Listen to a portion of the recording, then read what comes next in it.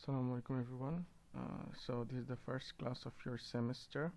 Uh, the course that I'll be taking is uh, wireless networks and the course code is CSE 4615. This is for CSE third year students and again uh, the name of this course for TV is wireless and mobile communication and the course code is CSE 4671. So I'll be using these two titles and course codes alternatively so don't get confused.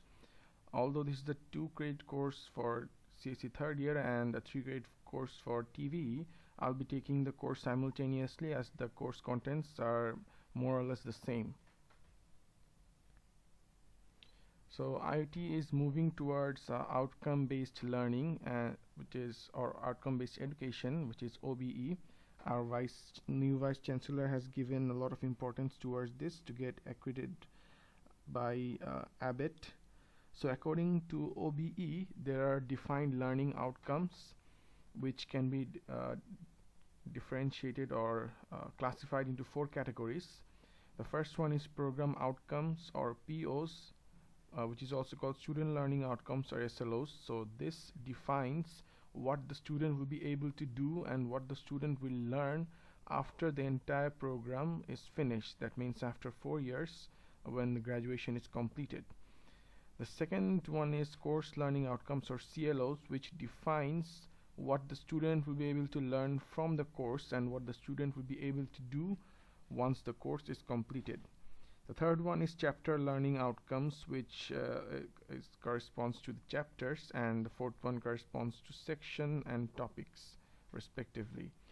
So these uh, learning outcomes need to be defined so that uh, in a, in a top-down process so that uh, it can be known what the program will teach the student and how much capable the student will be once the entire program completes uh, and the student graduates.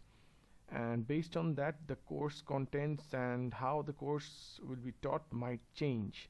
So IUT is going through a lot of change abruptly which is why uh, it might require some time for me to provide you with course contents.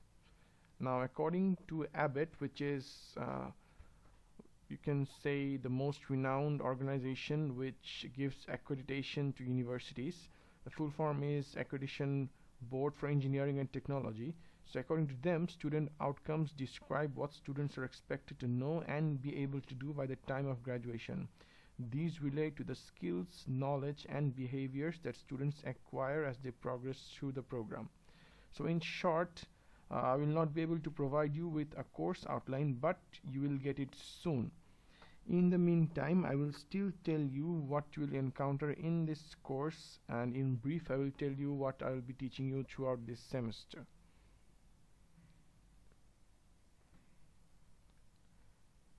So the first topics that we'll learn are introduction to wireless networks. Uh, we'll be give, uh, getting an interview sorry we'll be getting an overview of wireless access networks wireless mesh networks and personal area networks. For example wireless sensor networks Bluetooth etc and we'll also learn different wireless MAC protocols so medium access control protocols which include IEEE 802.11 and its different variants. For example 802.11e n s and different wireless sensor network protocols and so on. We'll also learn different wireless routing metrics and methods which are used for wireless routing specifically. And we'll learn protocols of different area networks for example personal area networks wide area networks etc and we'll also learn different transport protocols and its variants uh, which are mainly related to congestion control and how these protocols provide quality of service. So based on this we I will also give you some references that you might follow. The first one is wireless communications and networks which is a book written by uh, William Stallings the second one is uh, IEEE 802 wireless systems written by Walke, Mangold and Berlemann. Uh, it is published by Wiley.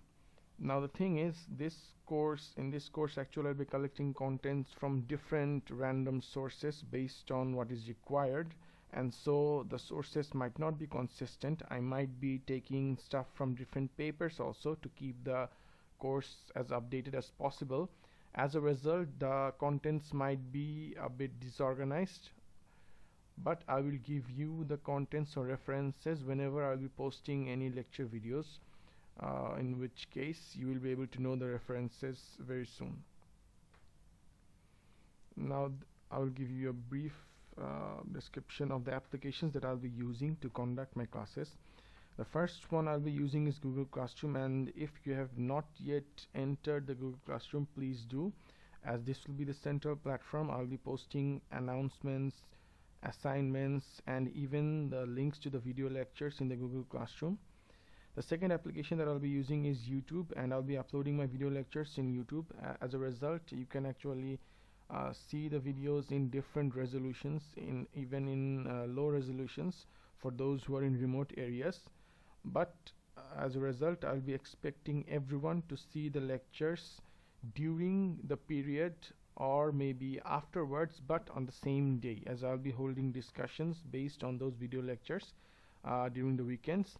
And again I might be taking quizzes if you have already seen my post in Google Classroom. So those quizzes will determine how much you have understood the lectures third I'll be using Paint 3D and actually the screen that you're seeing right now is from Paint 3D so I'll be using this for my demonstrations although I might change this application based on what I have near me so I might use any other application.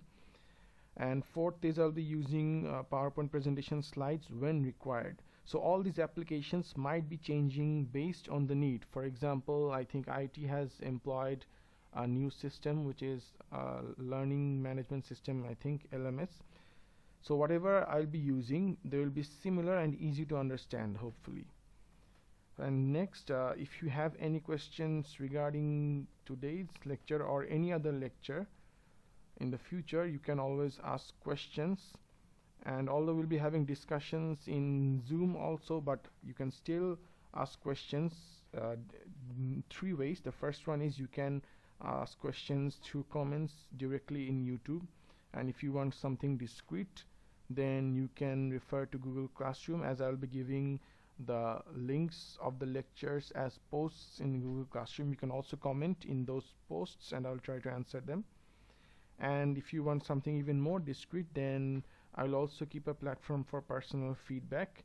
And the last semester I think I used something called Kubel but I'm not sure what I'll be using in this semester okay so whatever the case always ask questions and as uh, I will not be taking real-time lectures so you will not be able to ask questions during the video. So of course I'll be expecting you to ask questions later on through any means possible. So uh, always ask questions. Without asking questions you will see that the course contents are covered very quickly.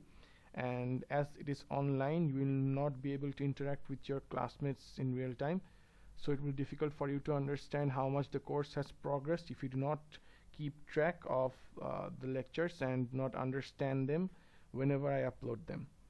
So if you have any questions please ask and I guess with this I will end today's uh, lecture. Uh, Assalamu alaikum and thank you